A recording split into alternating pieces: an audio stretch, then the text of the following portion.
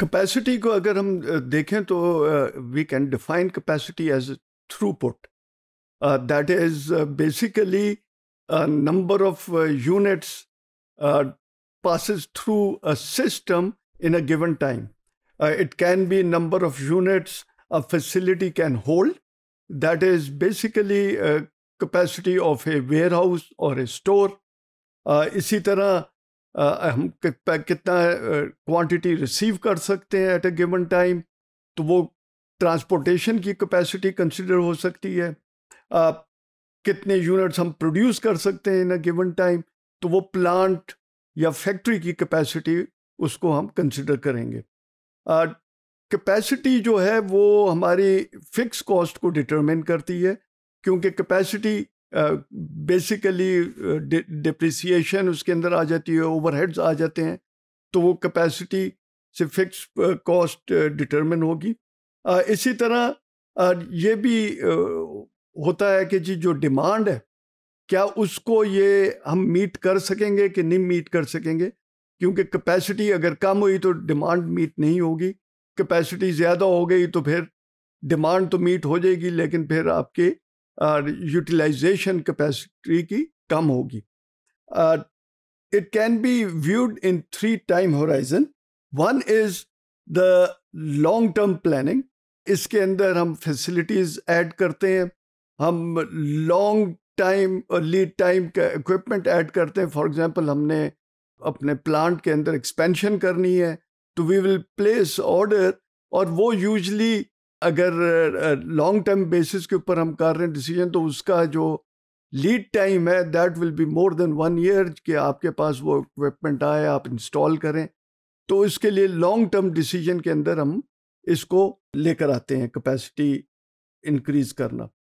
इसी तरह intermediate range planning है, जिसके अंदर अगर हमारी कैपेसिटी कम है तो हम सब कॉन्ट्रैक्ट कर लेंगे। बाहर अपने किसी और पार्टी को हम देंगे कि वो हमारा ये प्रोडक्ट प्रोड्यूस कर लें। Short term short lead time वाला इक्विपमेंट ऐड कर लेंगे। फॉर एग्जांपल लेथ मशीन की ज़रूरत है तो जाकर ले लिया, हफ़्ता दस दिन के अंदर उसको इंस्टॉल कर लिया। और इसी तरह हम शिफ्ट ऐड कर सकते हैं कि एक शिफ्ट पे काम हो रहा है तो उसको दो शिफ्ट पे कर दिया। तो ये मिड रेंज के अंदर आ जाता है। इसी तरह पर्सनल ऐड करके हम कैपेसिटी इंक्रीज कर सकते हैं, या हम इन्वेंट्री बिल्ड करें। जब लो डिमांड पीरियड हो तो उसमें इन्वेंट्री बिल्ड करें और हाई डिमांड पीरियड में उसको कंज्यूम करें। तो इस तरह भी हम कैपेसिटी और डिमांड को मैच कर सकते हैं मिड रेंज प्लानिंग प्लानिंग में। शॉर्ट रेंज प्लानिंग के अंदर आ जाता है जॉब हमने क्या शेड्यूल किए उससे हमारी शॉर्ट रेंज कैपेसिटी यूटिलाइजेशन वगैरह उसमें इंक्रीज हो सकती है डिक्रीज हो सकती है डिपेंडिंग अपॉन हमने प्रोडक्ट मिक्स क्या डिसाइड किया है प्रोड्यूस करना। Again scheduling of personnel for example restaurants के अंदर डिफरेंट टाइम पीरियड के ऊपर डिफरेंट नंबर ऑफ़ पर्सनल होते हैं depending upon demand period for example evening में अगर डिनर टाइम पर रश ज़्यादा होता है तो उस वक्त स्टाफ ज़्यादा होगा और ब्रेकफास्ट टाइम पर क्योंकि इतना रश नहीं है, लोग बहुत कम है तो उस वक्त स्टाफ कम रखेंगे। तो इस तरह भी कैपेसिटी को हैंडल किया जा सकता है।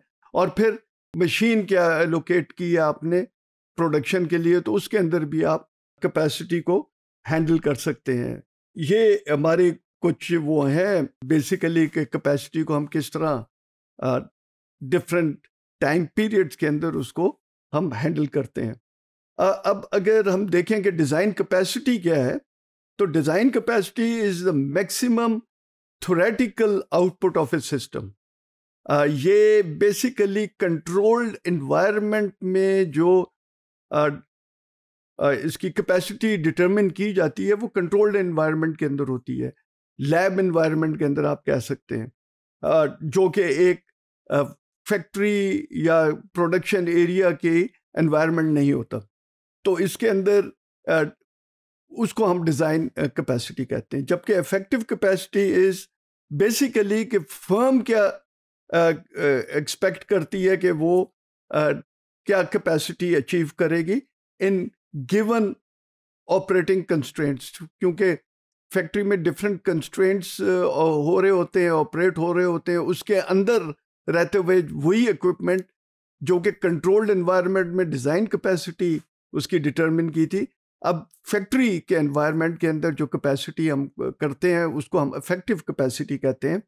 और ये for obvious reasons usually it is less than the design capacity अब इसको अगर हम, इसकी यूटिलाइजेशन को देखें तो utilization is percent of design capacity achieve कि एक्चुअली हमने कितनी डिज़ाइन कैपेसिटी अचीव की है। So utilization is actual output divided by design capacity और एफिशिएंसी को हम चेक करते हैं इफ़ेक्टिव कैपेसिटी के साथ आ, उसका परसेंटेज निकाल कर कि एक्चुअली हमने क्या प्रोड्यूस किया है और हम एक्सपेक्ट क्या कर रहे थे इफ़ेक्टिव कैपेसिटी के बेसिस के ऊपर वो कितना है। तो efficiency is actual output divided by effective capacity अब इसके हम एक छोटी सी एग्जांपल ले लेते हैं बेकरी की जिसके अंदर एक्चुअल प्रोडक्शन वीक में लास्ट वीक 148,000 रोल्स थे। इफ़ेक्टिव कैपेसिटी जो कि मैनेजमेंट के ख्याल में होनी चाहिए थी प्रोडक्शन वो 175,000 rolls per week design capacity is 1200 rolls per hour अब ये आवर्स में दिया है तो इसको हमें कन्वर्ट करना पड़ेगा इनटू वीक्स और बेकरी ऑपरेट करती है seven days a week with three shifts per day so first वो एट आवर शिफ्ट्स को हमने कन्वर्ट करना होगा इनटू पर वीक कैपेसिटी तो डिज़ाइन कैपेसिटी क्या हुई? Seven multiply by three multiply by eight that is the total number of hours और इनको हमने मल्टीप्लाई किया 1200 से तो हमारे पास आ गई 201 600 रोल्स पर वीक ये हमारी डिज़ाइन कैपेसिटी थी। अब हम इसका यूटिलाइजेशन करते हैं तो यूटिलाइजेशन एक्चुअल जो प्रोडक्शन हुई hundred and forty eight thousand divided by the design capacity तो वो आ जाती है seventy three point four percent efficiency अगर हम चेक करें तो efficiency is again actual capacity one forty eight thousand divided by जो उसकी इफ़ेक्टिव कैपेसिटी थी hundred and seventy five thousand roll per week तो वो आती है eighty four point six percent that is अब इसको अगर हम इसी के बेसिस के ऊपर हम कहें कि जी, हम एक्सपेक्टेड आउटपुट क्या है। नई मशीन हमने परचेज की है, नई लाइन तो उसकी एफिशिएंसी न्यू लाइन की जो है वो 75 परसेंट क्लेम की जा रही है। तो उससे हम क्या एक्सपेक्ट करते हैं कि आउटपुट क्या होनी चाहिए? तो that is basically effective capacity multiply by efficiency so effective capacity हमारी जो है वो हंड्रेड सेवेंटी फाइव थाउज़ेंड है। और efficiency is point seven five तो एक्चुअल जो प्रोडक्शन होगी, वो one thirty one thousand two hundred and fifty rolls per week की होनी चाहिए। So this is an example कि हम किस तरह डिटरमिन कर सकते हैं डिफरेंट कैपेसिटीज